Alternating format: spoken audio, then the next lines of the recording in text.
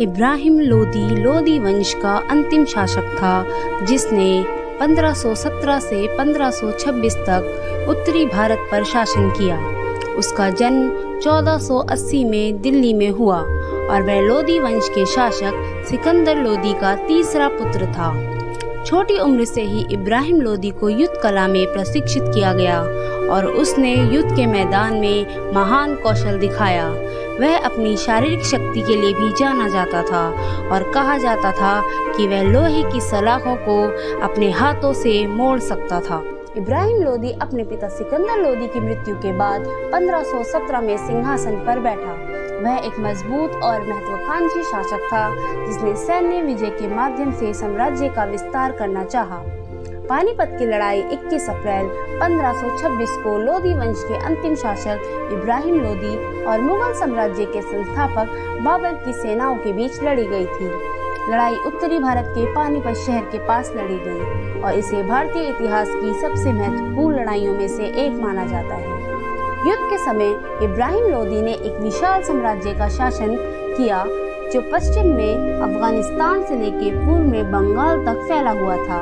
उसके पास लगभग एक लाख सैनिकों की एक बड़ी सेना थी, जिसमें बड़ी संख्या में युद्ध के हाथी भी शामिल थे। दूसरी ओर बाबर के पास लगभग बारह हज़ार सैनिकों की एक छोटी सेना थी, लेकिन उसकी सेना अधिक अनुशासित और बेहद प्रशिक्षित थी। युद्ध की शुरुआत दोनों सेनाओं के बीच भीषण संघर्ष से हुई। शुरुआत में इब्राहिम लोदी की सेना का पलड़ा भारी रहा और बाबर की सेना लड़खड़ाने लगी। लेकिन बाबर अपनी सेना को फिर से संगठित करने और पलटवार करने में सक्षम था, जिसने लड़ाई का रुख मोड़ दिया।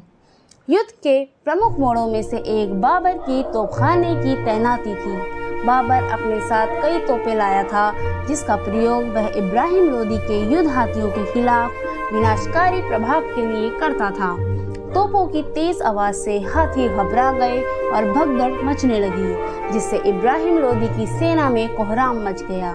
उनकी संख्यात्मक श्रेष्ठता के बावजूद इब्राहिम लोदी की सेना बाबर की तरह अनुशासित नहीं थी और वह मुगल हमले का सामना करने के लिए पीछे हटने लगे।